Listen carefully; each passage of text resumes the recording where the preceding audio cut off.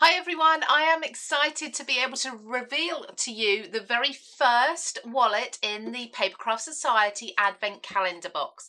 So uh, one of mine is number one, this is Textures and I absolutely love, love, love this stamp set. There's a clue already. So let's take a look at this and make a project with it. So we have got, um, I think there's four from Textures within the Advent calendar. This first one does come with an additional little card that just says warm winter wishes and there's a little bit about Papercraft Society there for you.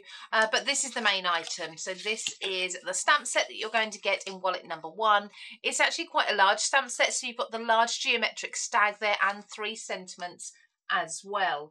So I'm going to be showing you today a technique that's um, something I've been doing for a little while. It was actually something I discovered by mistake, but I love it. And I always think it looks a little bit like a burnt wood effect. So for that, I'm going to be bringing in some craft cardstock. I have got a white card base as well. So hopefully these are things you've got in your stash, as well as some inks. So I have got a watercolour, or rather a water-based ink, so water reactive ink, and this is my Distress Oxide, or you can use Distress ink. In fact, I might actually switch that up for Distress ink instead. I think it just works a little bit better. Then I've got a black stamping ink that isn't going to react to water as well. And lastly, which is really important, is my stamping platform because you need to be able to stamp twice in exactly the same place. So let me switch up this for an ink rather than oxide and let's get started. So this stamp is going to be absolutely perfect if you want to be colouring in the smaller geometric shapes in there. Let's peel this off the backing. Now what I would suggest, because it's a brand new stamp, before you actually use it is take yourself a pencil eraser, so I've got a good size one here, and just brush over the surface of the stamp, the side that you're going to actually be applying the ink to. I would do this with absolutely any new stamp. So this is just going to take the surface off. That's that residue that's left on there for the manufacturing process. And it's just going to allow the ink to hold better to the stamp. That's something I do with all my new stamps. Now, the sentiments on here are wishing you a wonderful Christmas, Merry Christmas, and that's kind of got a distressed look to it. You probably can't see it also well at the moment, but it has got a distressed um, kind of surface to it. And winter wishes to you and your family. So a nice range of sentiments. Now this stag does fit so perfectly on a 5x7 card base. Uh, you could go a bit smaller. You could have a part of an image as well if you didn't want to do the whole image. I'm definitely going to do the whole one just here like so. So I think that's about where I'm going to stamp that. The first thing I need to do is bring that into my stamping platform. Another item I forgot to mention that you will need for this is a mist bottle of water or a spray bottle of water. So let's just pop our stag towards the top. Now I've already trimmed my cardstock down so that it fits on a 5 by 7 inch card base with a little bit of a border. Now I get a lot of questions about my 5 by 7 top fold card bases.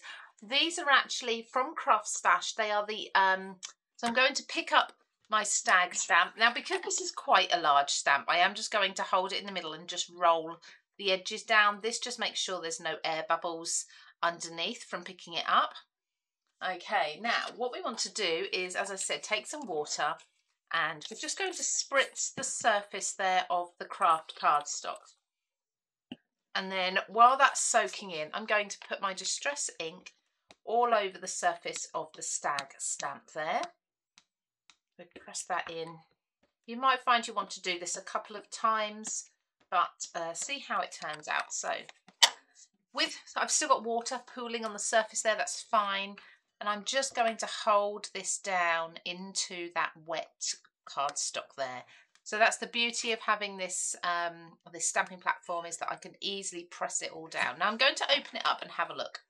So I've kind of got some areas here have started to bleed, but some are still quite uh, a good image. So I'm just going to give that a little bit of a spritz with some more water and try to actually get those to bleed out a little bit more. What we're aiming for is for the image, the lines to be distorted and to wick out. So a bit more water, a bit more ink as well.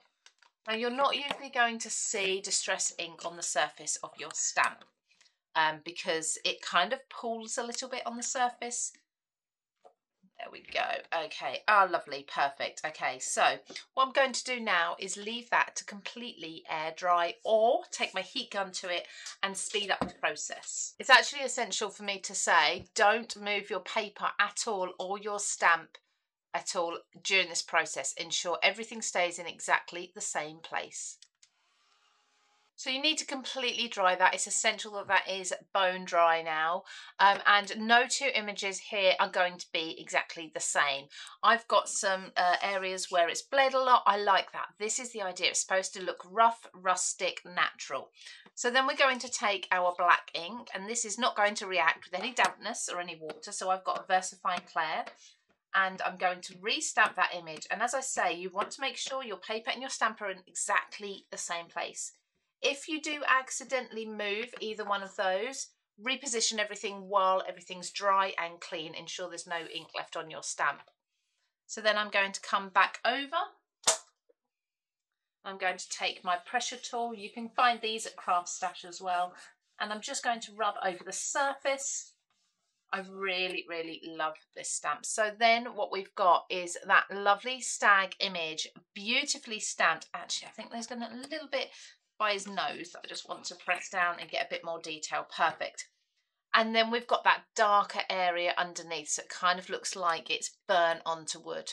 Now I'm going to do a similar effect for the uh, sentiment as well. So I'm going to choose one of the sentiments and I'm going to do exactly the same again using the distress ink and then the black ink and then we'll come back and do the finishing touches. So now this is completely dry, I'm going to take it out of my stamp platform. If you wanted to, you could take a pencil, either a white pencil or a darker colour pencil, a brown or a black, and you could actually just do a little bit of shading inside the geometric shapes there on the stag. I think that would look really cool. But we're going to make this a really quick card today. And I'm going to just brush over some of the brown ink that I used onto the edges of the card as well. So you can see how that effect, that stamping effect we did actually makes the image look like it's almost been burnt onto wood you could also uh, maybe incorporate a wood grain to the background. If you've got, for example, a wood grain embossing folder or stencil, that would look really good as well. Now, something that's almost signature for me is adding little splats of uh, white paint very often or an ink over the top of my card. I think this is going to be absolutely perfect with this image because it will look like snow. Now for this you don't have to have the same ink as me. If you've got an ink, a white acrylic paint that would work. Just water it down a little to give you uh, more sort of uh, the, the consistency that you need. Or if you've got a white gel pen that would also work by actually drawing on some specks. So there's my finished card using that burnt wood effect. I think it looks fabulous even as a nice simple quick and easy card but of course you could take it to further levels like I say with that sort of pencil crayon colouring in the shapes if you wanted to. You could even instead of brown ink use a nice bright coloured ink for a little bit of contrast and difference.